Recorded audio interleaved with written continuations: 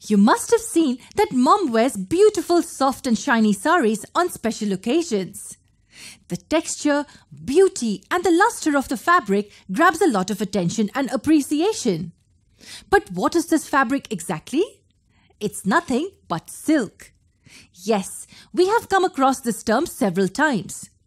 Let us now understand what silk is and how the fibers are obtained. To start with, can you tell me the source of silk fibers? Is it a plant or any animal? It's an animal. This small worm called a silkworm gives us silk threads. But how can we get threads from such tiny creatures? And how many threads can this little one give us? Let's get to know the complete process by understanding the silkworm's life cycle. To begin with, the first stage is where the eggs are laid by the female moth on leaves. Which plant leaves are preferred by the moths? It is the leaves of plants like mulberry which are preferred. So the egg stage is the first stage. The next stage is where the eggs develop into larvae. Larvae are forms that appear somewhat like this. Yes, the worm-like structures.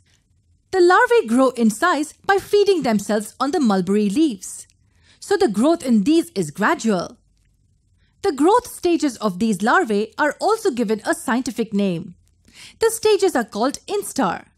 In literal terms, instar means the phase between the two molting processes of the insect larva.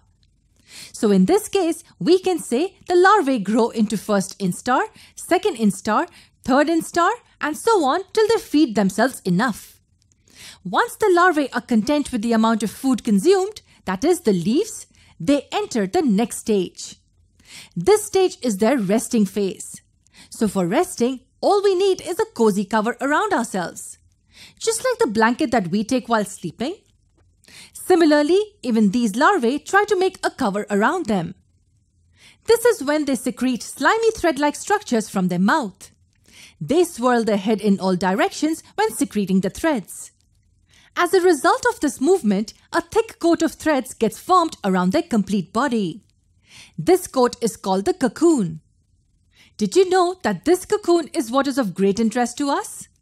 Because it is this structure that will give us the silk threads after we process it.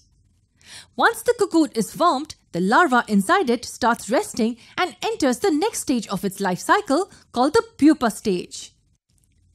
The pupa stage is where the organism is sessile, which means it does not usually move and it starts developing the organs which adult moths have.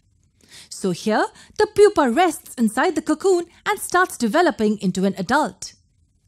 After it develops completely, the next stage, that is the adult stage, is reached.